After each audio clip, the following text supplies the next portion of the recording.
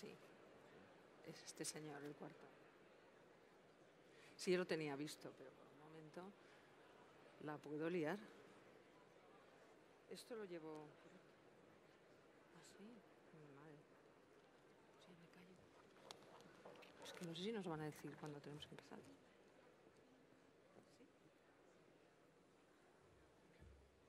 Señoras, señores, antes de dar comienzo a este acto de homenaje a César Alierta, nos vamos a sumar a la llamada de la Federación Española de Municipios y Provincias para guardar un minuto de silencio en apoyo a las familias de los guardias civiles fallecidos en acto de servicio tras la cruel agresión sufrida en la localidad de Barbate. Nos ponemos en pie.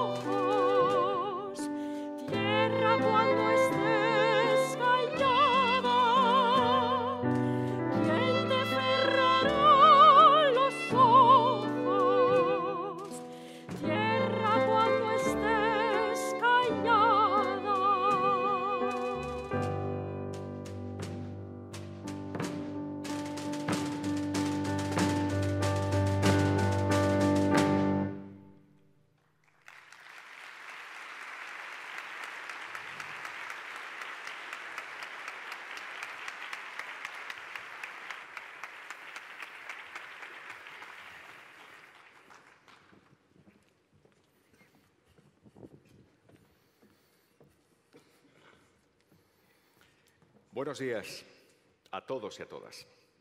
La tierra, esa que tanto amamos, esa que pisamos desde niños, esa que nos vio aprender a caminar, esa de la gente que queremos, pide paso, pide paso con dureza y no podemos dejar de amarla. ¿Quién te cerrará los ojos, tierra, cuando estés callada? Esta pregunta es el título de una canción de José Antonio Labordeta. Es al tiempo un lamento, un reproche y una declaración de amor.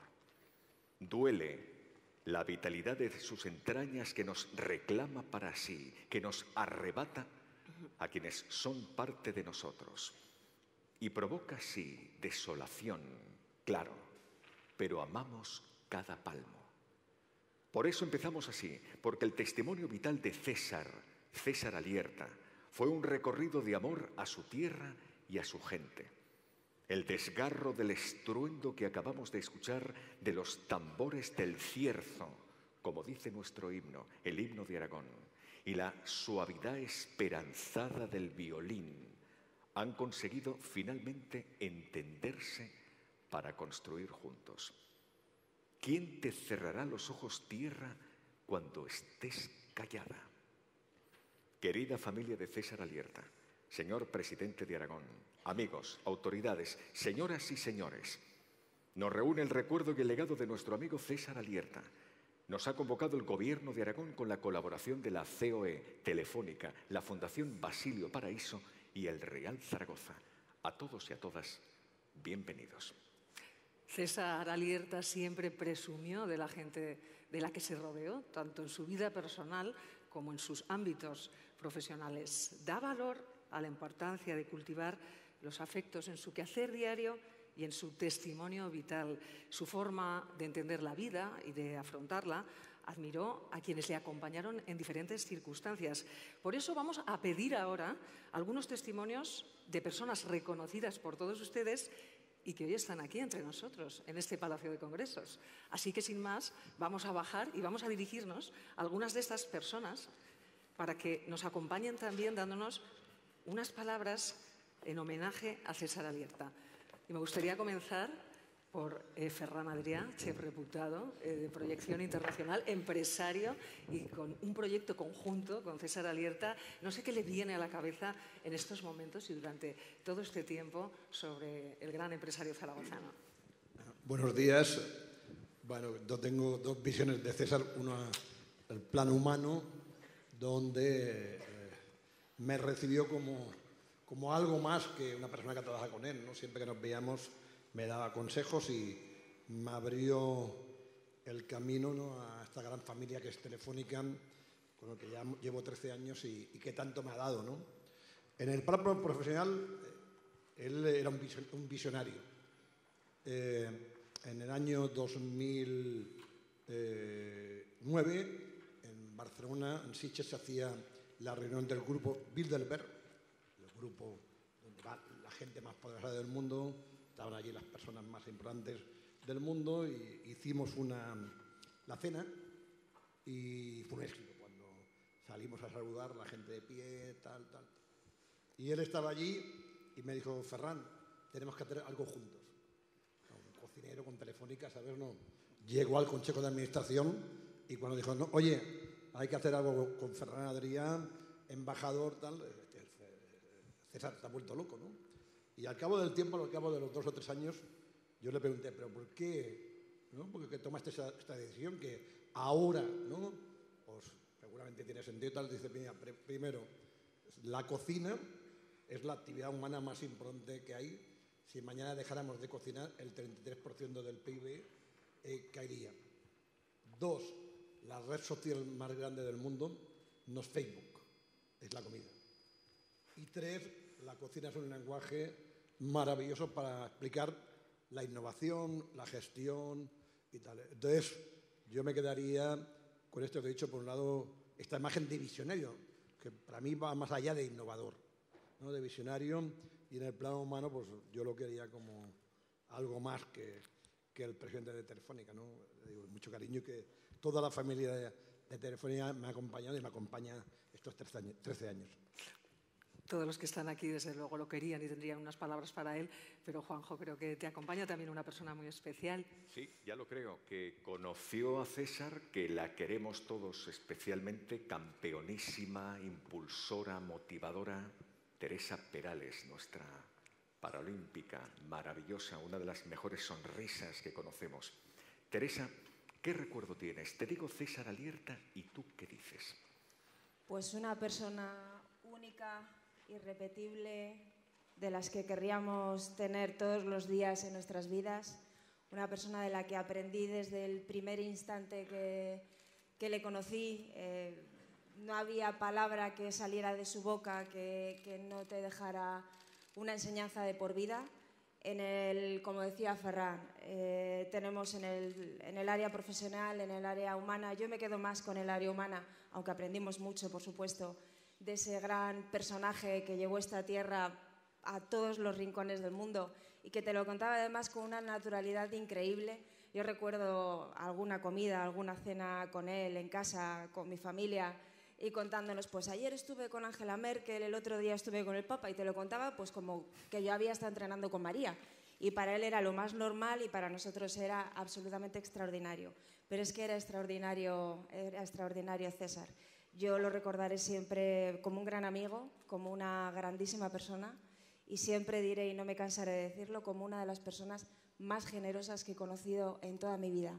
Como decía también Ferran, un auténtico visionario, un ejemplo para, para todos y en mi caso particular alguien a quien aspiro por lo menos a imitar un poquito y, a conseguir pues, eh, llevar ese, ese ejemplo como buen aragonés que siempre presumió de, de ser, eh, yo también llevo mi tierra en mi corazón a todos los lugares a los que voy, pero espero poder conseguirlo de la misma manera que lo logró él. Camino llevas, eres una conocidísima embajadora de Aragón, de tu tierra. Muchísimas gracias, gracias. Teresa. Gracias. Más, Miriam. Pues hemos hablado de la faceta humana y no vamos a olvidar la faceta deportiva. Y si alguien se vincula con su querido, amado Real Zaragoza, es Cristian La Petra. Hola, Cristian. ¿Qué tal? Buenos días. Bueno, eh, alguien vinculado con el Real Zaragoza es Cristian La Petra, pero alguien vinculadísimo con el Real Zaragoza durante toda su vida, lo lleva en su pensamiento, en su trabajo, en su corazón, es César Alierta. ¿Qué te viene en estos momentos a la memoria durante todo este tiempo relacionado con, el propio César Alierta? Eh, ¿Qué te sale decir sobre él, Cristian? Bueno, yo creo que la palabra que define todo es zaragocismo. César, y hoy eh, hablaremos de él y le rendimos homenaje, ha sido una de las figuras a nivel empresarial, cultural y social más importantes eh, de la última etapa en este país, en España pero a nadie eh, se le puede olvidar eh, que ha sido uno de los zaragocistas más puros. Hablamos de su generosidad, lo hablaba Teresa, lo hablaba Ferran. Él probablemente en el peor momento de la historia del Real Zaragoza da un paso adelante y no tiene ninguna duda en jugar su patrimonio personal y poner en marcha toda su red de relaciones, de contactos, eh, para echar una mano, para ayudar, para ayudar en ese momento a su querido Real Zaragoza y nosotros no podemos más que sentirnos orgullosos, el equipo que trabajamos durante muchos años eh, alrededor de él y de todo el Consejo de Administración para sacar adelante un proyecto que estaba muerto. A nadie se le olvida que si César Alierta no da ese paso, eh, hoy no estaríamos hablando de, del Real Zaragoza. muy comprometido, muy preocupado siempre a través de, su familia en el Consejo de Administración por estar al, día de todo lo que sucedía en el club, en lo deportivo, pero también en lo económico, porque al fin y al cabo él era un, visionario en eso y era un especialista. Em, yo creo que nos queda la espina de no haberle podido devolver a esa generosidad de César Alierta a un Real Zaragoza en primera división, pero a nadie se le va a tener que olvidar que cuando el Real Zaragoza esté en primera división, que lo estará, eh, una parte importante va a ser gracias a, la generosidad de, César. Y en mi caso particular, en la relación que yo tuve con él, no tengo más que agradecimiento eh, por haber podido formar parte de, ese equipo que, que salvó al Zaragoza de la desaparición. Bueno, pues si alguien también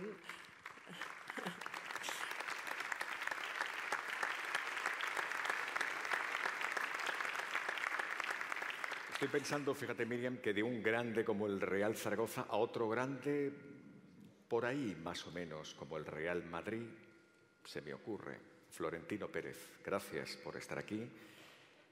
César Alierta, ¿qué le dice a Florentino Pérez? Bueno, en primer lugar, quiero decir que estoy encantado de participar eh, en este homenaje y, y expresar mi reconocimiento a una de las personas que más me han marcado en mi vida. Eh, no solo por su, su, competencia y su actividad eh, empresarial, sino también por su humanidad y por su solidaridad, que es la, para mí lo más importante. Bueno, yo cuando me presenté a las elecciones del Real Madrid en el año 2000, pues hablé con César, porque sé que es muy futbolero como yo, ¿no?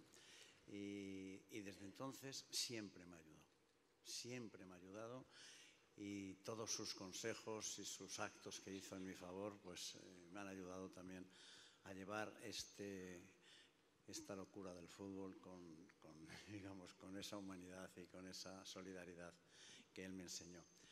Y luego también desde el punto de vista empresarial, pues tengo que agradecerle que cuando en una situación muy difícil en, la, en España, hacia el año 2011, pues él como gran empresario y como siempre solidario y generoso, pues eh, creó el Consejo Empresarial para la Competitividad y tuve la suerte de que contó conmigo durante todos esos años para intentar, pues eso, luchar para salvar a España de una situación que, felizmente hoy la recordamos, pero que en esos momentos pues, lo pasamos muy mal. O sea, para mí César, como he dicho, es una persona que que siempre estará en mi vida y que lleva conmigo los últimos 24 eh, años, desde que fui presidente del Real Madrid. Y aquí quiero estar mostrando esa, como se digo, ese reconocimiento público porque no he podido asistir a su funeral, estaba fuera y, y aprovecho esta oportunidad para decirlo delante de todos. Muchas gracias. Muchísimas gracias. Gracias.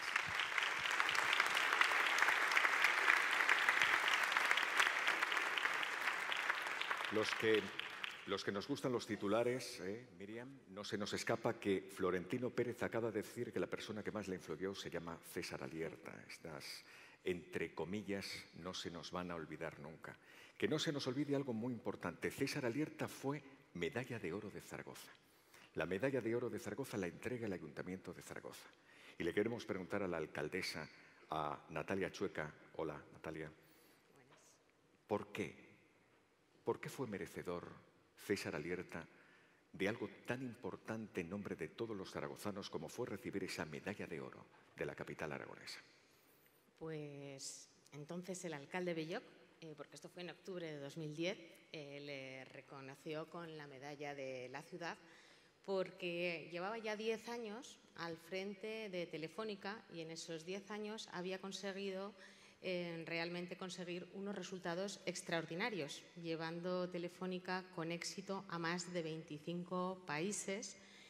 Y por lo tanto había mostrado no solamente esa solvencia excepcional en el mundo empresarial, sino que había conseguido a través de esa labor empresarial eh, contribuir a la expansión internacional de España en el mundo como un país moderno, un país serio, capaz, competitivo y eso lo convirtió en uno de los mejores embajadores de España. Pero en Zaragoza mm, lo quisimos reconocer porque no solamente eh, fue embajador de nuestro país, sino que realmente eh, lo hizo siempre llevando el nombre de Zaragoza en el corazón y fue el ejemplo de que se puede conquistar el mundo siendo de Zaragoza y, perteneciendo a Zaragoza y volviendo a Zaragoza, ¿no? Y por eso llevó siempre el amor de su ciudad y de su tierra allá donde fue y se convirtió en el mejor embajador de nuestra ciudad. Por eso se le reconoció en el 2010 y luego pasaron muchas cosas después, como ha contado anteriormente Cristian, ¿no? Y eso que todavía no había venido a salvar al Real Zaragoza, que le hubiese hecho merecedor, ¿no? De otra, de otra segunda de otra segunda medalla si se pudiese. Por eso ahora desde la ciudad de Zaragoza creo que el mejor homenaje y cómo le podemos rendir homenaje a, César Alierta es trabajando duro para que desde nuestra ciudad sigan eh, naciendo, creciendo, formándose personas extraordinarias que consigan conquistar el mundo y que, que lo hagan eh, desde Zaragoza, demostrando que de todo lo que somos capaces los zaragozanos. Es un gran ejemplo a seguir por todos. Gracias. Gracias, alcaldesa. Gracias. Pues ya hemos visto esa faceta de embajador de su tierra, de Zaragoza, embajador también de Aragón, eh, amante del Real Zaragoza, esa faceta humana, solidario pero realmente, por lo que era más conocido en España, en el mundo, César Alierta era como empresario, empresario muy influyente. Y por eso ahora el presidente de los empresarios, el presidente de la COE, Antonio Garamendi, queremos que también eh, nos ceda, nos dé su testimonio con sus palabras, pero le pedimos que nos acompañe hasta este escenario para hacerlo eh, pues a la vista de todos.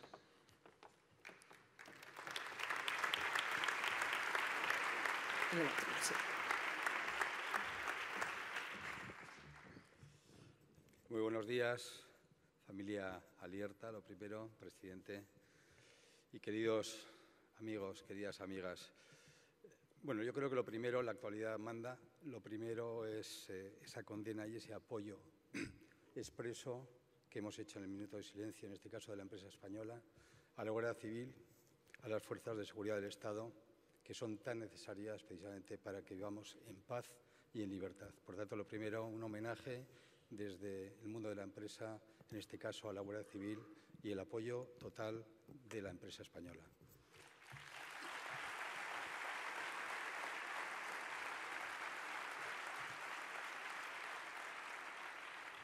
A mí me gustaría definir a César, yo creo, eh, Ferran ha hablado visionario, innovador y se ha hablado de persona. Una persona que que yo creo que es un gran ejemplo porque ponía a las personas en el centro de las cosas. Desde el punto de vista empresarial, yo creo que es una de las figuras más relevantes de la mitad del siglo XX y principio del siglo XXI. Disruptiva e innovadora y visionaria.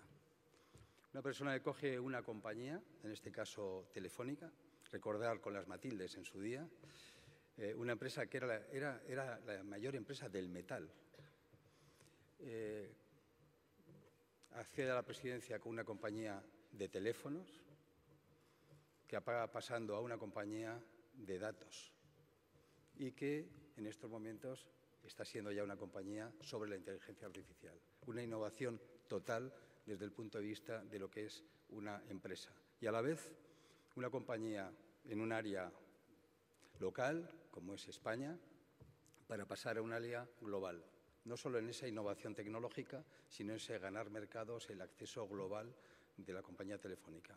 Y un orgullo para España tener, yo creo, la primera en ese momento, primera compañía multinacional española. Es exactamente el empuje del efecto tractor de las compañías que hay que cuidar con algodones, las que crean riqueza en este país. Yo creo que ese sería el primer punto importante de César y además con otro punto relevante, haciendo una transición, haciendo una transición hacia la siguiente generación ejemplar. Así que, querido José María, realmente tuviste un gran maestro.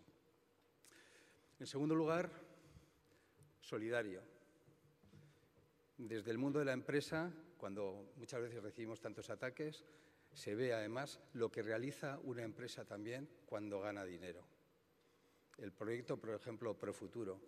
El proyecto Profuturo, junto con Isidra Fainé, con la Caixa, y junto con el Papa Francisco, donde su gran obsesión era que para el crecimiento de las personas habría que dar la formación, habría que dar la educación. Y ese proyecto se convierte en ese gran proyecto de trabajo en África, en Iberoamérica, para que los niños estudien ya con tabletas, eh, con tablets, eh, precisamente para esa formación. Se habla del talento, se habla de la igualdad. La igualdad viene a través, en este caso, de la educación.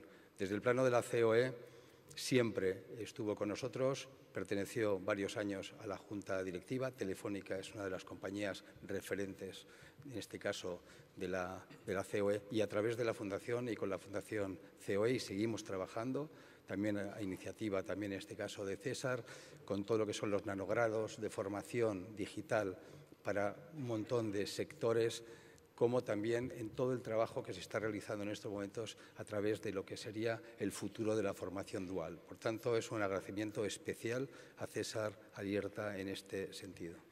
Y en tercer eh, lugar, la familia. Yo creo que nadie somos nada si no somos lo que, lo que realmente tenemos cerca.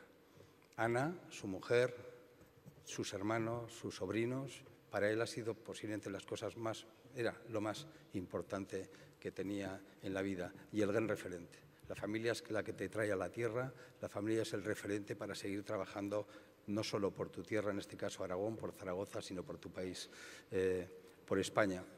Y en, este, y en este sentido, bueno, pues un gran amante del Zaragoza, ya su padre, Cesario, lo fue, fue presidente del Zaragoza, alcalde de Zaragoza. Por tanto, yo creo que es otro de los referentes, es otro de los ejemplos que tenemos que tener por delante cuando oigamos la palabra César Alierta.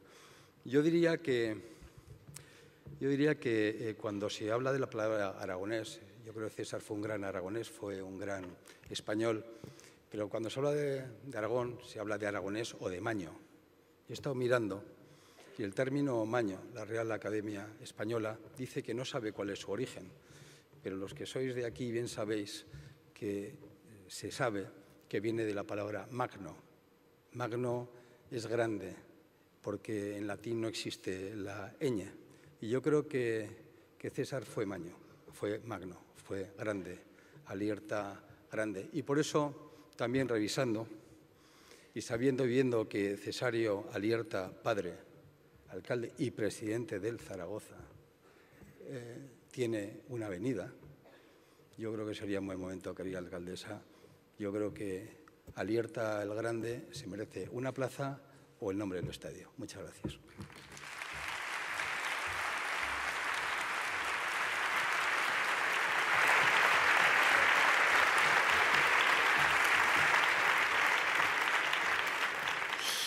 Muchas gracias por esas cariñosas palabras de Antonio Garamendi. Y vamos ahora a trazar la figura de César Alierta. Y qué difícil, qué difícil es resumir el inmenso currículum de César Alierta. Bueno, ha habido cosas muy interesantes que ya se ha dicho. Efectivamente, lo de Magno Maño nos ha llegado y nos llega al corazón, sin duda, porque efectivamente Cesario Alierta fue su padre, Cesario Alierta Perela y su madre Juana Izuel Labat. Y César nació en Zaragoza el 5 de mayo del año 1945. Siempre presumió de sus estudios de bachillerato en los corazonistas. Aquí están presentes, de hecho, algunos de los profesores y alumnos de, este centro de Zaragoza. Y también del colegio que lleva el nombre de su padre, es decir, el colegio Cesario Alierta. Así que a todos, muchísimas gracias por venir también. Bueno, y también en lo que le toca el corazón, en lo personal. César Alierta tuvo su corazón en el norte de Aragón, a los pies del Pirineo, en esa pequeña localidad ostense como es Villanúa, donde pasó mucho tiempo de su infancia, compartió momentos de juegos e innumerables recuerdos e incluso llegó a estudiar en su colegio. Una relación que perduró siempre y que se estrechó todavía más en 2011 cuando fue nombrado como no podía ser de otra manera, hijo predilecto. Exacto, y del Pirineo de nuevo Zaragoza, porque año 1967 se licencia en Derecho por esta universidad, Universidad de Zaragoza, y en el año 70 obtiene el máster en Administración de Negocios por la Universidad de Columbia en Nueva York. Ese mismo año ingresó en el Banco Urquijo como analista financiero, donde en 1980 asumió la dirección general del área de mercado de capitales. Año 1987 crea la Sociedad de Valores Beta Capital de la que fue presidente. A partir del 91 compatibilizó con la presidencia del Instituto Español de Analistas Financieros. Y en diciembre de ese año fue nombrado presidente de la Asociación Española del Mercado de Valores y miembro del Consejo de Administración y de la Comisión Permanente de la Bolsa de Madrid. Año 96, 1996, accede a la presidencia de la empresa pública Tabacalera y fruto de la fusión con la compañía francesa Seita nace Altadis, compañía que presidió hasta julio del año 2000. Entonces llegó una etapa decisiva en lo empresarial, telefónica. En julio de 2000 es designado presidente ejecutivo. En 2011 preside el Consejo Empresarial para la Competitividad. Sí, y además en febrero del año 22 abandona la presidencia de Telefónica y se dedica, como también se ha nombrado, íntegramente a la Fundación Pro Futuro, que desarrolla un programa de educación digital en los países más vulnerables del mundo. Pues un impresionante currículum que se suma a esa ya forjada personalidad. Por eso ahora, Juanjo, imagínate que nosotros pudiésemos preguntarle, pero en este momento, en este instante, al propio César Alierta, eh, pues, algunos asuntos relacionados eh, con temas que le interesaban, asuntos de interés para todo el mundo. Y es que además nosotros somos periodistas y si algo nos gusta, desde luego, es preguntar. Sin duda. Por ejemplo, en un momento decisivo para la economía, le preguntaríamos cómo deben ser las iniciativas empresariales para que sean competitivas. Global, local, ¿qué diría gracias a su dilatada experiencia? O, por ejemplo, Miriam, eh, ¿cuáles son las empresas más competitivas? ¿O van las empresas delante o detrás de los reguladores? ¿Cuál es su visión en este asunto para Europa, para América Latina? entornos a los que dedicó tanta atención y tanto, y tanto esfuerzo. Pues a mí también me gustaría preguntarle algo que todos, todos queremos saber. ¿Cuál es la clave del éxito o qué importancia tiene el proceso de digitalización de las empresas? Bueno, yo aprovecharía muchísimo más. Por ejemplo, ¿qué le ha parecido la participación de Aragón y del resto de España en lo que fue la incorporación a la moneda única europea? Y una curiosidad. El que fue jefe de tantas empresas importantes, o si estuviera aquí, César, ¿en qué basabas tus criterios de promoción del personal? Pues todos los que están aquí conocen el carácter de César Alierta, eh, me permiten decir que él se mojaba en cualquier tipo de tema. Y por eso, ¿qué nos contestaría si le preguntásemos sobre el desarrollo del Pirineo? Bueno, podríamos estar preguntando horas y horas, porque son múltiples las preguntas que se le podrían formular, pero ha llegado el momento de escucharlo. Sí, sí, de escucharlo, porque vamos a tener la oportunidad de hacerlo, así que estén todos muy atentos. Mi experiencia personal es que si quieres ser global tiene que ser multidoméstico. Y multidoméstico tiene, tiene que decir que tiene que ser local y global, ¿eh? pero fundamentalmente local. Las empresas más competitivas son las que utilizan el Big Data para analizar e innovar. Las empresas vamos muy por delante de los reguladores. ¿eh? Los reguladores siempre miran hacia atrás. ¿eh? Yo he visto pocos reguladores que vean el futuro. Este, Europa y América Latina necesitan que cambie la regulación con visión de futuro. Y eso tiene que ser ya. ¿eh? Porque si no, ni Europa ni América Latina vamos a ser competitivos. Una de las claves del éxito, no la única, es que te gusten los problemas. ¿eh? Si no te gustan los problemas, este, pues no te superas.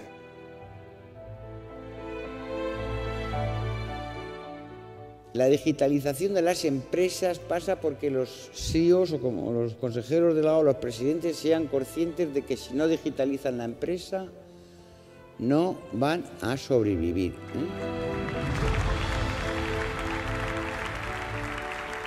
Tenemos que ser conscientes de lo, mucho que ha hecho Aragón y España en los últimos años. Desde que nos incorporamos a la, a la moneda única en Europa, ¿eh? el PIB per cápita, y a veces no soy consciente de eso, ha subido un 50%. Yo no promociono a nadie que no se haya equivocado un par de veces, porque digo, si lo promociono se equivocará a más nivel y me, y, y me hará un agujero.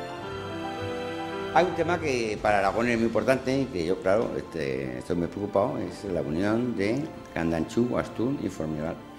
Si unimos Candanchú, Astún y Formigal, tendremos la mayor área esquiable de España de lejos y una de las mayores de Europa. Y eso te va a ser un motor de crecimiento para todo el norte de la provincia de Huesca espectacular.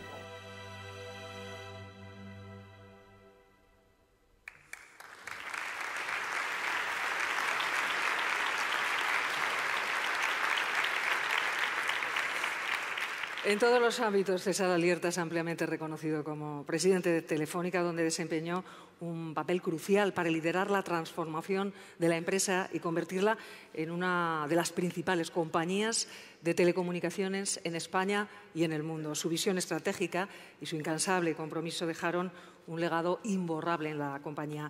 Ahora solicitamos la presencia del actual presidente ejecutivo de Telefónica, José María Álvarez Payete. Adelante, a este escenario.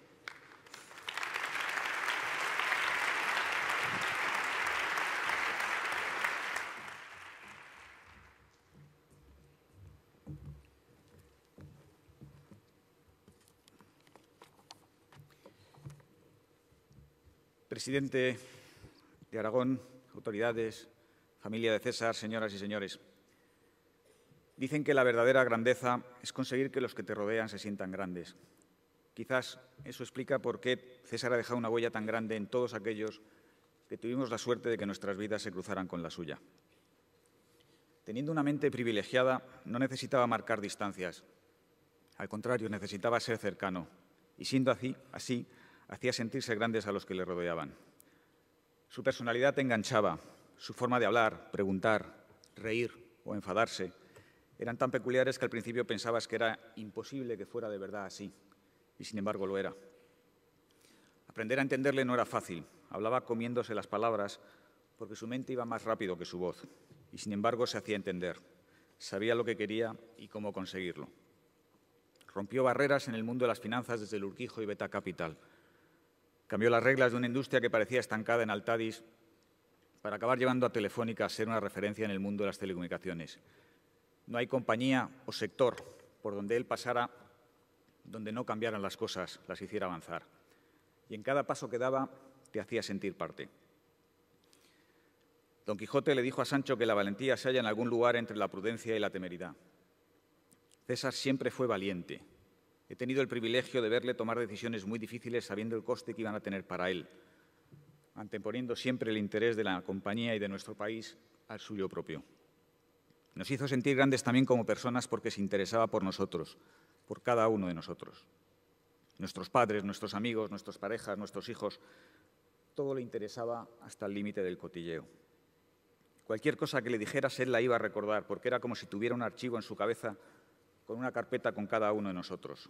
Le daba igual que fueras el director financiero que un empleado con el que se sentaba a comer sin conocerle en el autoservicio distrito. Le interesaba todo lo tuyo, le interesaba tu vida. Nos hizo sentir especiales viéndole a él, su forma de ser. Ver una película con él era una experiencia porque las vivía como si las estuviera protagonizando. Ver cómo sufría con la acción, cómo se encendía con la regulación, cómo era capaz de decir verdades como puños en los lugares más insospechados. Le he visto con Angela Merkel, con el Santo Padre, con Mark Zuckerberg, con mucha gente. Y lo mismo les hablaba de Europa, de la infancia, de la tecnología o de Jaca. Él era él y lo era en todo momento y en todas partes. Fue grande en su inteligencia, grande en su capacidad de trabajo, grande y divertido en, su, en la alegría, grande en sus afectos y grande en sus enfados. Pero sobre todo era grande de corazón, en lo personal, en mí confió sin conocerme. Me llevó cerca de él y me abrió los ojos de su mundo. Cuando yo iba, él ya había vuelto y te explicaba por qué y cómo. Me abrió puertas y se interesó en mí como persona. Me hizo confiar en mí mismo. Nunca conseguí que a mí me llamara José María. Para él, para él era Payete. Payete, nos vamos a Brasil. Payete, tenemos un lío en Bruselas. Todos son problemas, Payete. Qué complicados sois todos, Payete pero cuando hablaba con otros sobre mí sí que era José María.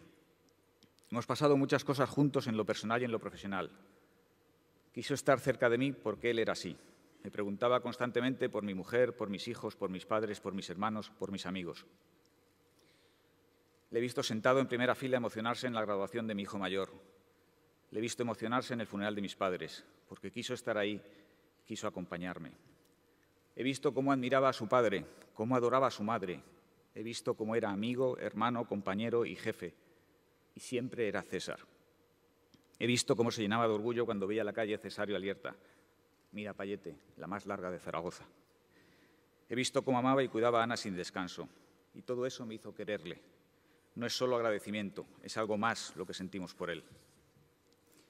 Es la sensación de que con él se va una parte de nuestra vida que sabemos que vamos a añorar, porque era especial y porque nos hacía sentir especiales.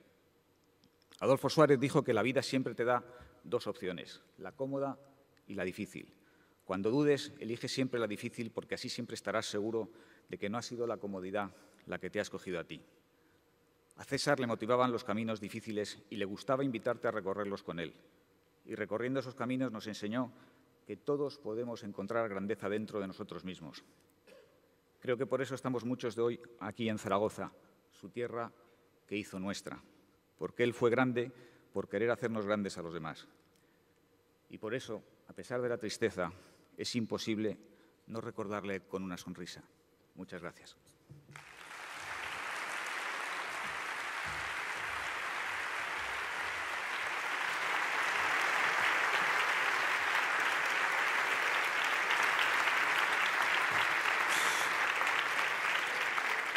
Muchas gracias por sus palabras, señor Álvarez Payete. Y vamos ahora con otro de los aspectos, de los ámbitos muy unidos a los afectos de César Alierta. El Real Zaragoza, ay, el Real Zaragoza, su equipo amado, el que ocupaba sus pensamientos y un hueco en su corazón y con el que se comprometió para intentar devolver al equipo el lugar que debía ocupar. A mí me gustaría poder preguntarle y recordar, aunque es evidente por su pasión, por qué se involucró de lleno en el club y se convirtió en aquel verano de 2014 en su principal accionista a través de la Fundación 2032, en la que también se integraron otros empresarios aragoneses. Por ejemplo, una pregunta directa al corazón, al alma. ¿Cuál es la razón por la que estaba feliz, feliz dentro de la Romareda? ¿Qué pasó el día 8 de septiembre del año 1957. Hay muchísima ilusión, mm, pero hay que sudar eh, y conseguirlo. ¿eh? Y las cosas para conseguirlas son día a día. ¿no? lo que veo clarísimamente el entrenador que lo tiene muy claro, que día a día y que conseguiremos lo que casi conseguimos el año pasado, que es subir a primera y después cuando estemos en primera, pues estar en la parte de arriba, claramente.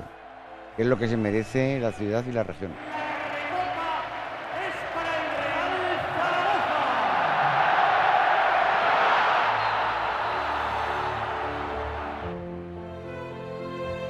Aquí en la Romareda es, parece mentira, una de las razones mías para vivir. Porque yo tuve la suerte que mi padre era totalmente de Zaragoza. Y yo me hice de Zaragoza con tres años. Estoy encantado de que me hayan invitado a participar en la reunión del Consejo. ¿eh? Ya saben que para mí en Zaragoza es importantísimo. Uno de los días más importantes de mi vida, y siempre me acuerdo, porque en casa estábamos todos entusiasmados, fue el día que se inauguró la Romareda, el 8 de septiembre del 57. La ilusión de mi padre era que Zaragoza tuviera un club importante y con un estadio que fuera pues, representativo de la ciudad de Zaragoza.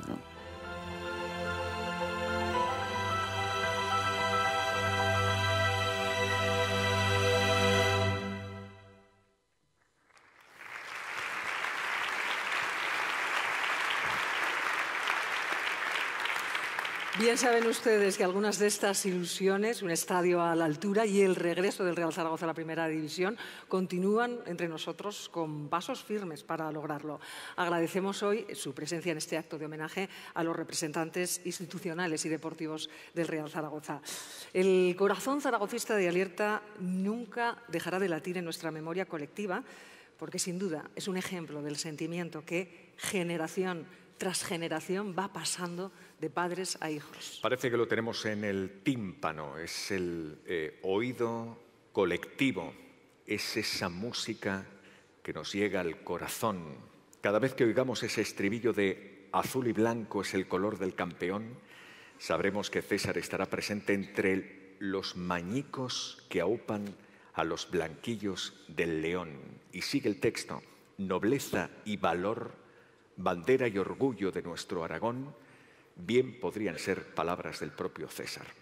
Pues hablando de nobleza, vamos a detenernos ahora sobre uno de los aspectos que formaron parte destacada de su quehacer vital, su compromiso social, su sentimiento de solidaridad, la convicción de que sus acciones debían tener reflejo en el bienestar de la gente. Ya lo creo, Teresa, entre otras muchas personas lo, ha declarado, muchísimos de vosotros eh, lo podríais confirmar, apelaba a la igualdad de acceso a la formación, a la educación, a los recursos digitales. De nuevo acudimos a sus palabras para que nos responda. Yo tengo estas preguntas. Primero, ¿cómo generar ilusión y futuro para todos? Y segundo, ¿qué es lo que hay que hacer con la educación digital? Pues yo dos más, que sería para César Alierta lo más importante en el mundo. ¿Y cuál sería el objetivo más importante en su vida? Ahí es nada, pues vamos a escucharlo. Tenemos que llevar la educación digital y los conocimientos digitales a todo el sitio del mundo para que todos tengan una ilusión y un futuro muchísimo mejor. Porque un chico perdido en un pueblo de los Andes o del Amazonas brasileño puede aprender lo mismo que si está en Sao Paulo o en Lima, a través de los MOOCs. En el mundo no puede haber dos tipos de chicos y chicas, gente con conocimientos digitales y gente con sin conocimientos digitales. Es lo que hay que hacer con la educación digital. Lo primero, lo primero, a nivel mundial, enseñar valores. Porque al final todos, seamos musulmanes, cristianos, necesitamos valores universales. Porque lo más importante en el mundo es el ser humano. Y como lo más importante es el ser humano, al ser humano hay que protegerlo. En la vida lo más importante es ser feliz. Y una de las formas de ser feliz clarísimamente es hacer feliz a los demás. En el mundo hay decenas de millones de voluntarios y no se conoce. Pero a través de los medios digitales ahora les estamos enseñando modestamente a hacer cosas que hace seis años eran imposibles.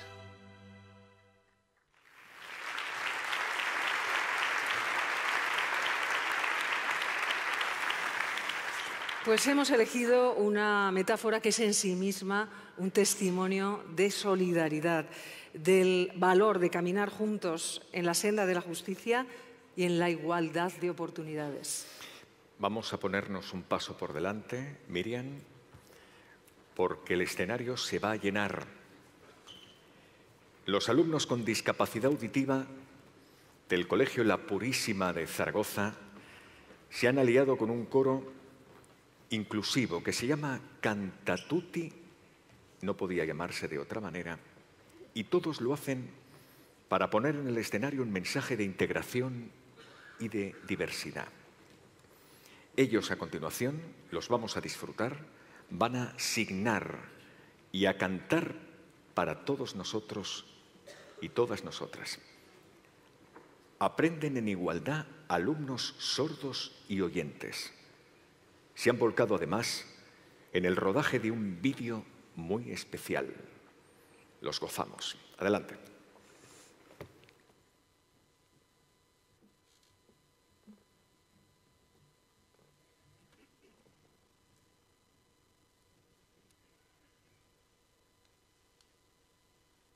Es como una adivinanza, ¿verdad?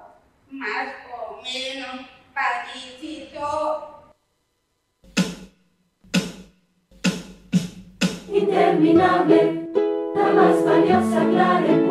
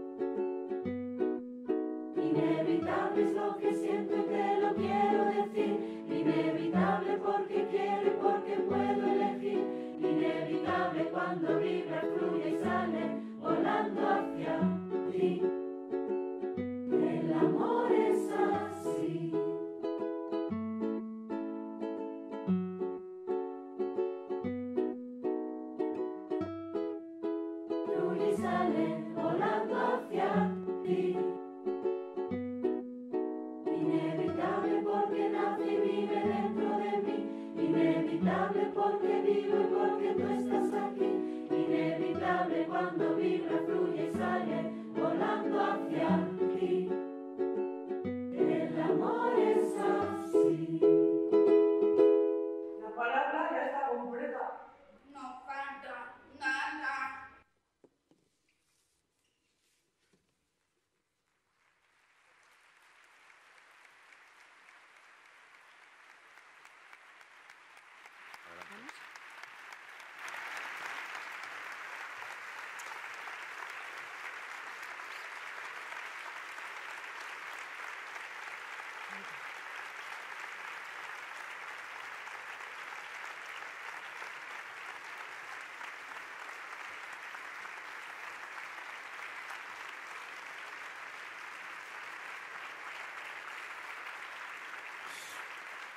Muchas, muchas gracias al Colegio La Purísima, también al Coro Cantatuti, todo un ejemplo de superación y de camino hacia la integración.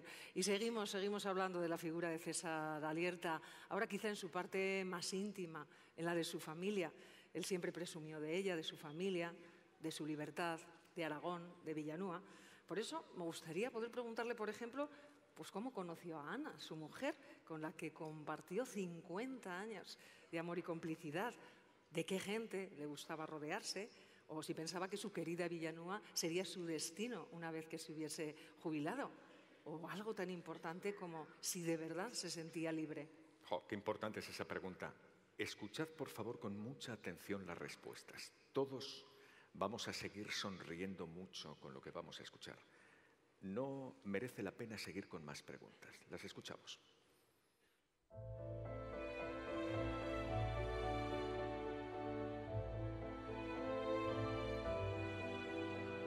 La conocí en Salou.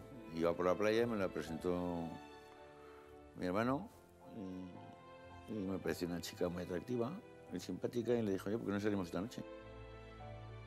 Llegué a mi casa y le dije a Ana, Ana, soy un desastre. Me he equivocado en todo, un desastre. Y me dijo, bueno, no te preocupes, que eres espapilado y ya, ya lo arreglarás. Este, o sea, uno siempre se equivoca. La clave es reunirse, re- eh, rodearse siempre de gente más brillante que tú. Eso es la clave. ¿eh? Cuando veáis uno que se rodea de gente menos brillante que él, es que tiene un problema. ¿eh? Yo lo tengo muy fácil porque soy aragonés. ¿eh? Y diré, ¿y qué- ¿por qué habla este que es aragonés? Porque los reyes de Aragón, cuando juraban, les decían, cada uno como vos y entre todos más que vos, que por cierto eran los reyes de Cataluña también. De todos los que estamos aquí, el único que es libre soy yo porque tengo este teléfono, que es el mismo que sigo teniendo. Y ni Google, ni Apple, ni Facebook, ni WhatsApp saben mi vida. Lo que hablamos aquí en Villanueva, pues no tiene nada que ver con lo que hablamos en Madrid. Y aquí nos bañábamos, salíamos morados. Cuando me jubile, pues eh, vendré aquí mucho tiempo, porque me siento muy bien aquí.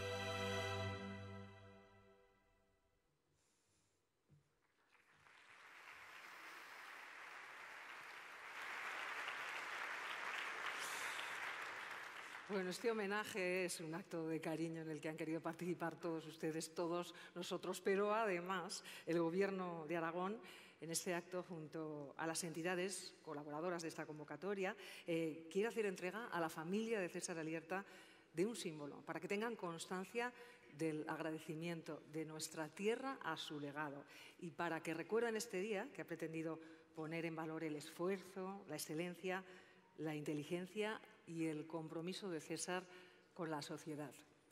Mientras les contamos qué significa, que va a ser enseguida, solicitamos en este estrado, en este escenario, la presencia del presidente de Aragón, del presidente de CB Aragón, pueden ir subiendo, del presidente de Telefónica, el presidente de la Fundación Basilio Paraíso y también de un representante del Real Zaragoza. Así que pueden ir subiendo ya a este escenario.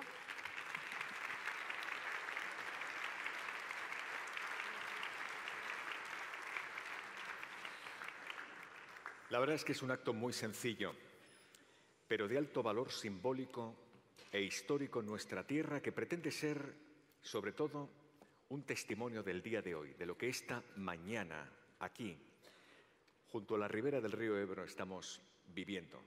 Es, está presidiendo el acto permanentemente, está justo delante de las personalidades que presiden este escenario. Se trata de una miniatura de una carrasca. Bueno, y por supuesto queremos que también suban a este escenario representantes de la familia de César Alierta, que van a ser sus hermanos.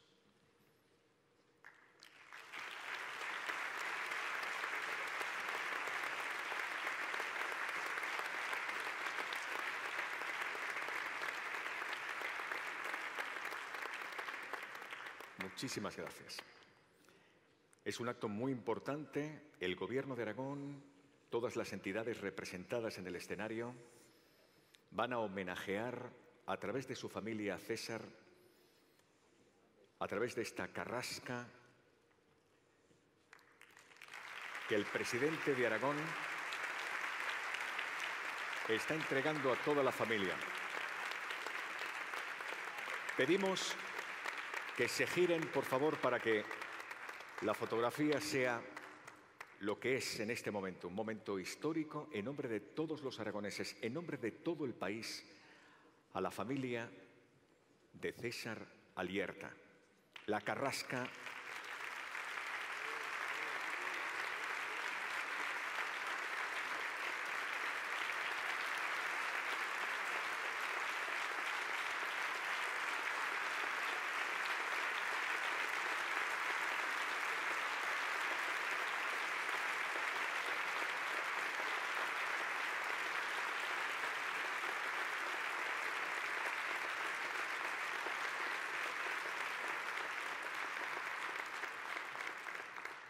Muchísimas gracias. La carrasca, es decir, la encina en castellano, que hemos utilizado en Aragón desde antiguo. Ya lo hacían nuestros reyes como emblema de su casa y por eso precisamente figura en el primer cuartel, Miriam, del escudo de Aragón. En nuestro caso la llamamos y con orgullo la encina del Sobrarbe. Bueno, y es que este año nuestro escudo, el escudo de Aragón, cumple 525 años, un dato, una cifra que arroja luz sobre la verdad de la historia que hemos compartido con todos los pueblos de España. Por supuesto, y que también hemos compartido como símbolo, lo hemos usado como símbolo de resistencia, de recuperación, con motivo de la pandemia del COVID. Está plantada en la mayoría de nuestros pueblos, en Zaragoza, en Huesca, en Teruel, y si algo define la figura de César Alierta es su pasión por esta tierra. Lo estamos confirmando, remachando y homenajeando. Su pasión por ser aragonés, su resistencia, su vocación de persistencia, de trascender su propio ámbito. Y así es este árbol. Es duro porque vive en multitud de terrenos y dado noticia de pertenencia y de unidad porque es abundante en toda la península ibérica y sobre todo en el Mediterráneo. Y es perenne porque pervive y porque resiste. Y aquí la razón por la que se ha elegido para simbolizar el testimonio de respeto y de agradecimiento a la obra y al legado de César Alierta. Pues Juanjo, casi estamos llegando al final y solicitamos de nuevo la presencia del presidente de Aragón, de Jorge Azcón, para que se dirija a todos ustedes en este acto homenaje a César Alierta.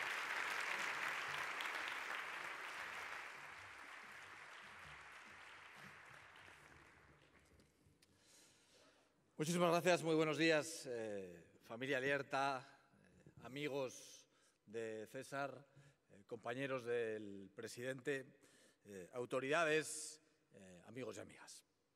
En primer lugar, quería darles las gracias, daros las gracias por haber participado en este cariñoso, en este cálido homenaje que desde la sociedad aragonesa hemos querido hacerle a César Alierta porque sinceramente creo que es una de las figuras, posiblemente la figura más importante que ha dado eh, la reciente historia de Aragón y posiblemente una de las más importantes también que ha dado nuestro país.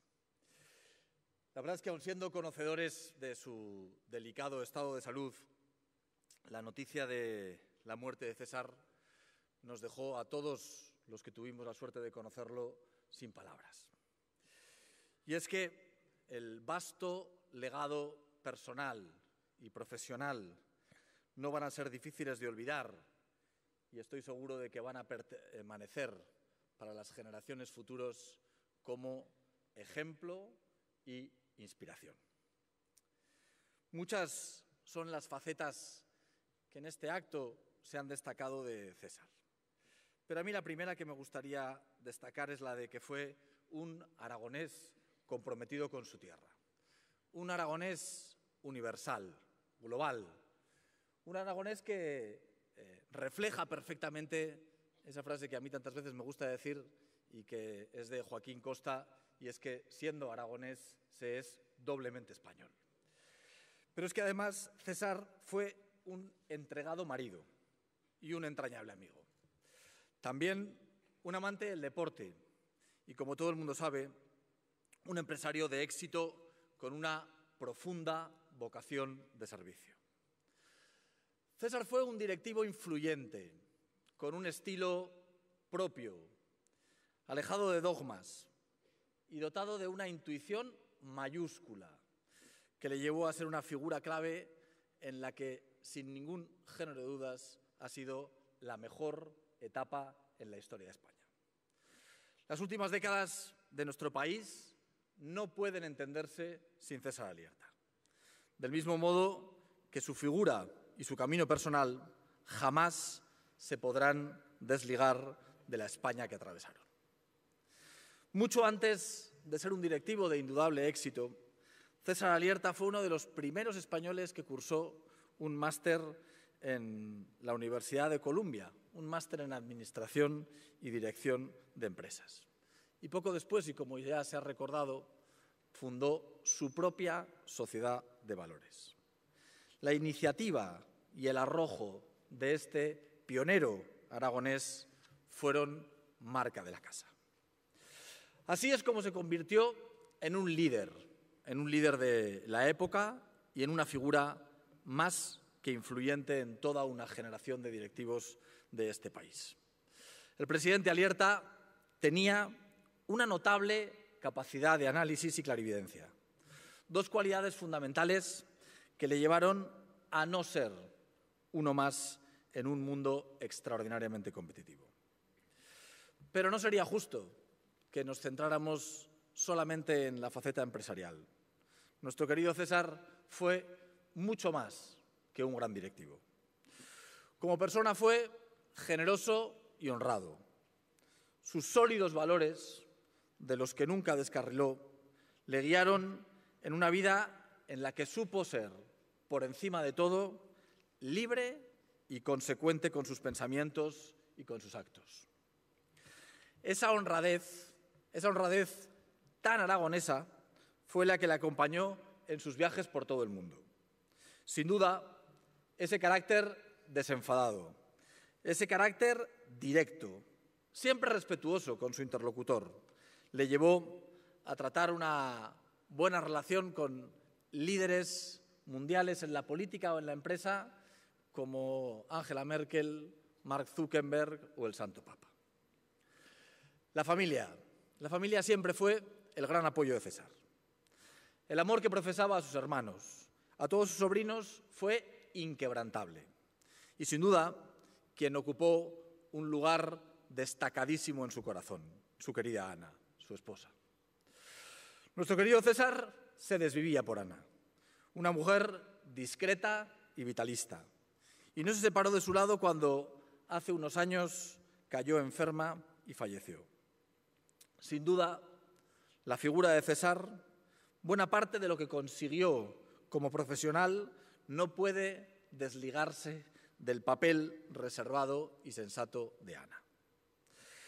Ese amor por la familia que le caracterizaba es solo uno de los valores que guiaron sus pasos, como también fue la pasión por el desempeño profesional, la entrega a los demás y la defensa de su tierra.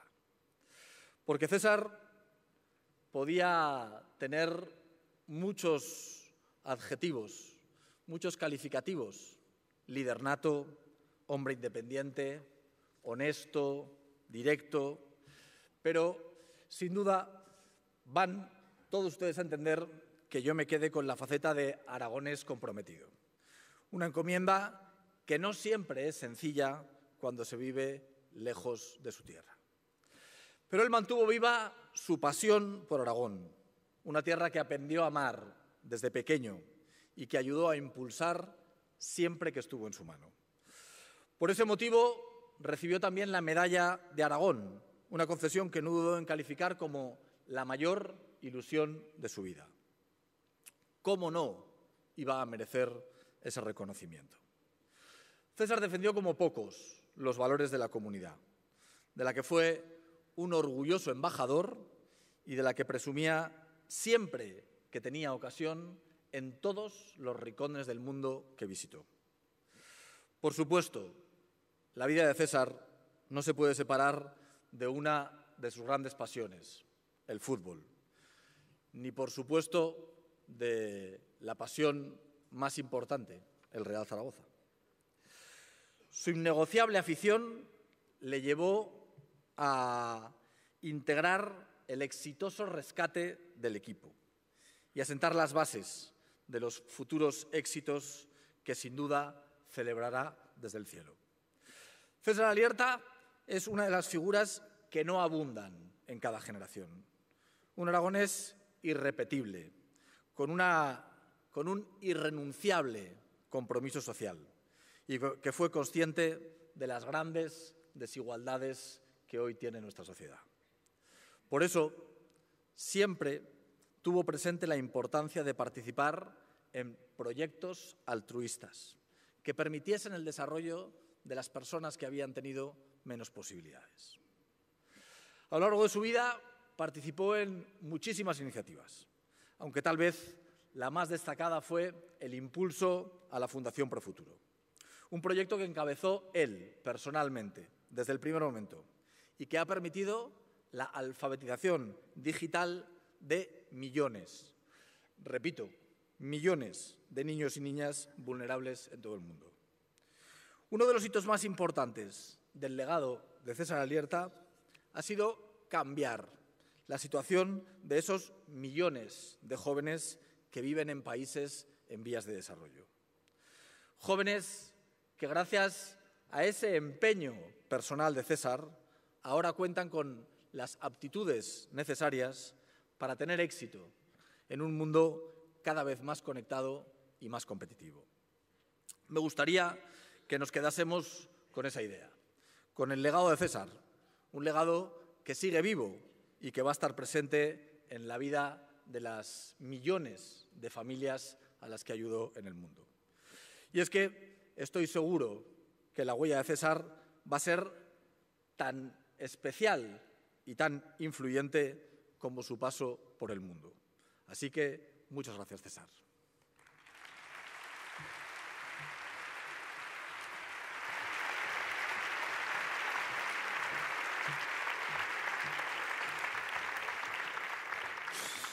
Pues muchas gracias, presidente de Aragón. Mira, estoy dándole vueltas, Miriam. Estamos escuchando al protagonista de esta gran jornada. ¿Cómo se despediría él? ¿Cómo cerraría el acto? ¿Qué habría dicho César Alierta si hoy aquí pusiéramos un broche, un punto final?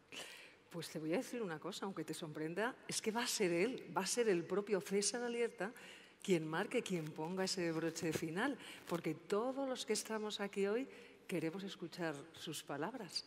Así que escuchamos a Adelante. César Alierta. Amigos y amigas, me gustaría comentarles tres cosas. En primer lugar, es una de agradecimiento. En segundo lugar, de afirmación de aragonesa, de amor y gratitud a esta tierra nuestra. Y tercero, compartir con ustedes algunas vivencias de mi vida. Hay momentos en la vida de una persona en que la razón tiene que dejar paso al sentimiento y la cabeza al corazón.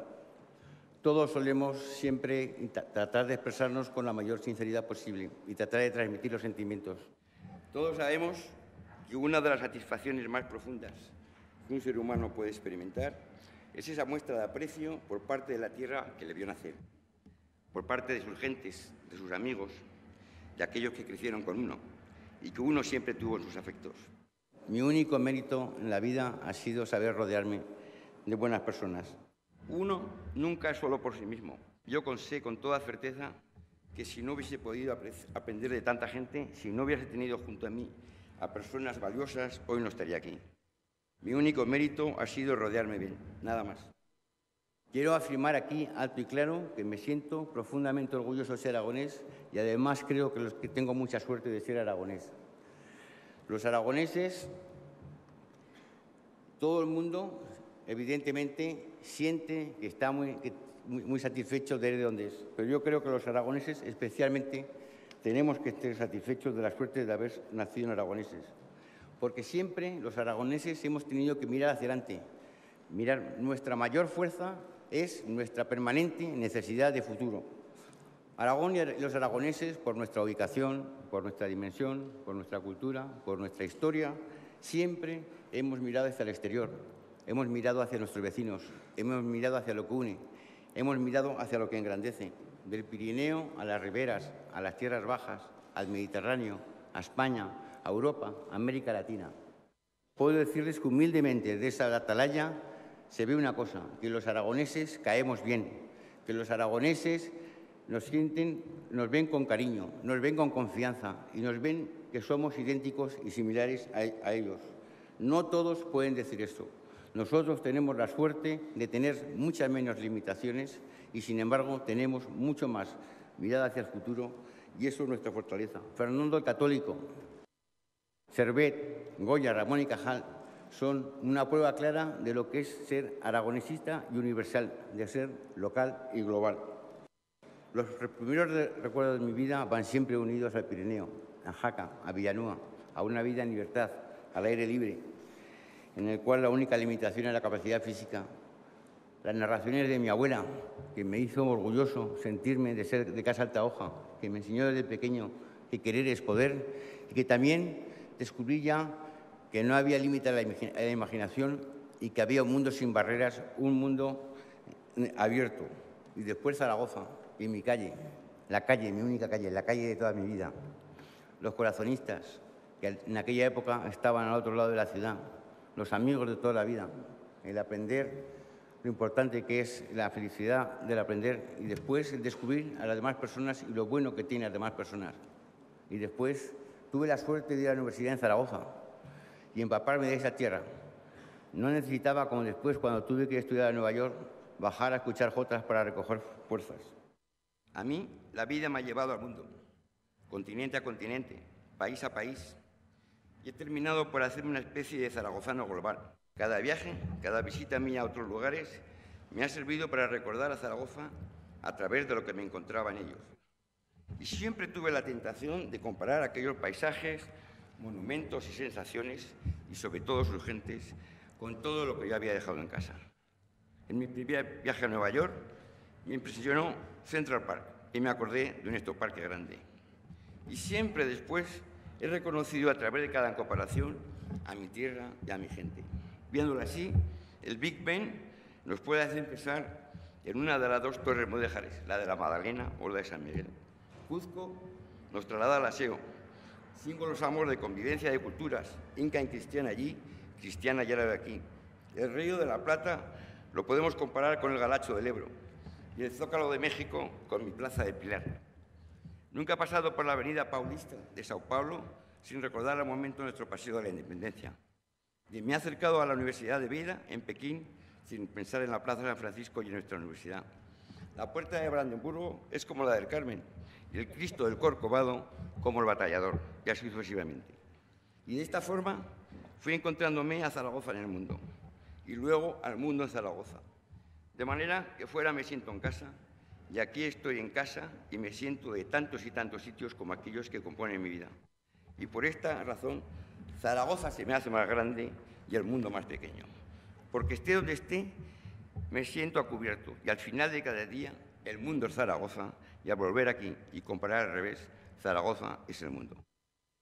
Zaragoza es mi ciudad, como fue y es la ciudad de mi familia, la ciudad de mis padres, la ciudad a la que todos siempre quisimos y a la que mi padre y mi cuñado Ramón sirvieron ejemplarmente como alcaldes.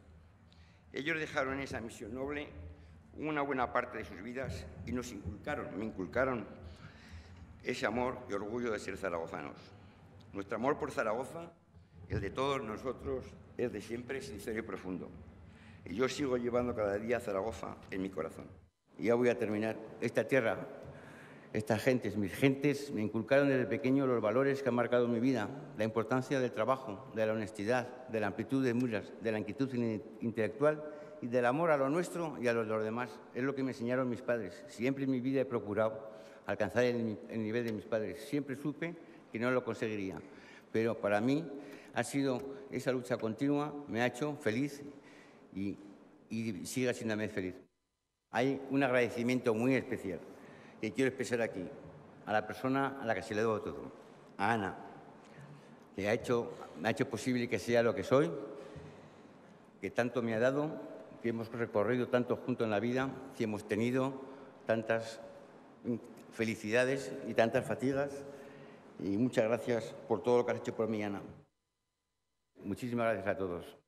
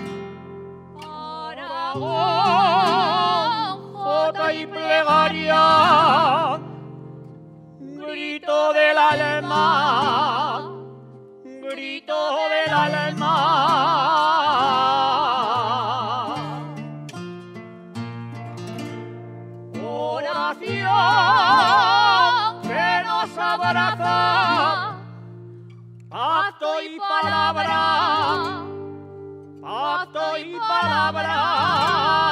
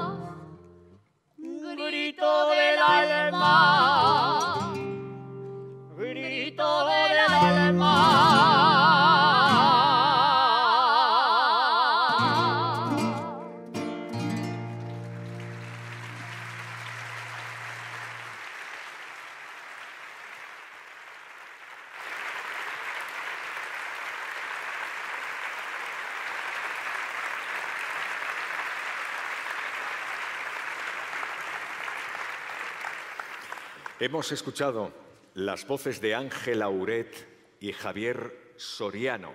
Los dos poseen el galardón más importante de la Jota aragonesa porque son los ganadores del premio extraordinario del certamen oficial de la última edición de las Fiestas del Pilar del año 2023. Estamos acabando. Y también que no se nos olvide que citamos a quienes dieron entrada a este gran acto. Los tambores del Conservatorio Superior de Música de Zaragoza, el piano en manos de Óscar Carreras, el violín lo ha hecho sonar Elena Nuño y la voz de la soprano Vanessa García Simón. A todos, a todas, muchísimas gracias. Señoras,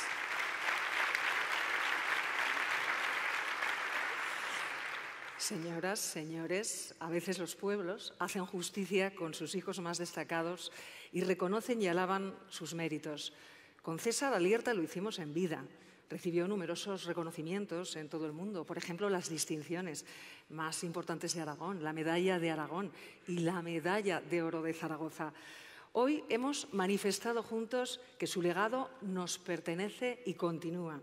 Así lo afirmó el propio Papa Francisco. César es de esas personas que no mueren, que siguen viviendo en su legado.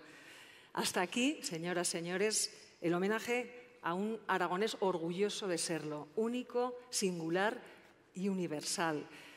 Él mismo recordó en su despedida a Ana, a su querida mujer. La energía no se crea ni se destruye, solo se transforma. Pues con eso nos quedamos, con la energía transformadora de César Alierta y con su recuerdo. Muchas gracias. Muchas gracias. Gracias.